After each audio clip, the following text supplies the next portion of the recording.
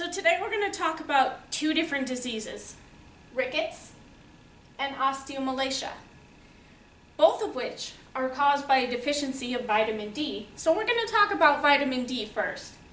There are three common sources of vitamin D, sunlight, food, and supplements. So if you live in an environment that doesn't have a lot of natural sunlight, or if you have a diet that's very low in vitamin D, you're at risk for rickets and osteomalacia.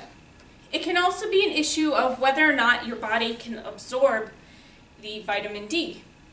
People with celiac disease, cystic fibrosis, inflammatory bowel disease, and with kidney problems can all have trouble absorbing vitamin D. First, we're going to talk about rickets, which is a vitamin D deficiency that occurs in children. Vitamin D is required for the body to be able to absorb calcium and phosphorus, both of which make bones strong. Children with rickets have bones that are very soft and very weak. It can also affect the child's growth plate by softening the growth plate itself, which leads to diminished growth, bowed legs, thick ankles, and a breastbone that protrudes. Other signs and symptoms include delayed growth and pain in the spine, pelvis, and legs.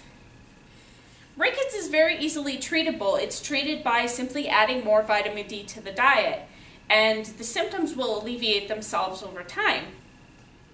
However, if it's left untreated, it can lead to diminished growth, chronic pain, deformities, scoliosis, kyphosis, lordosis, and seizures.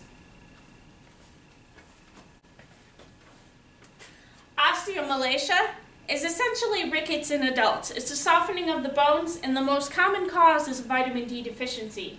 Because the bones are so soft, they're more likely to bow or to fracture. However, there's no growth deficiencies because adults are done growing. Other causes include gastrectomy, gastric bypass, celiac disease, kidney disorders, liver disorders, cancer, and certain anticonvulsants. Signs and symptoms include bone pain and muscle weakness. If you want to learn more about osteomalacia, rickets, vitamin D, you can check out the links below. There's also going to be a video that talks about kyphosis, lordosis, and scoliosis. Have a good day, guys.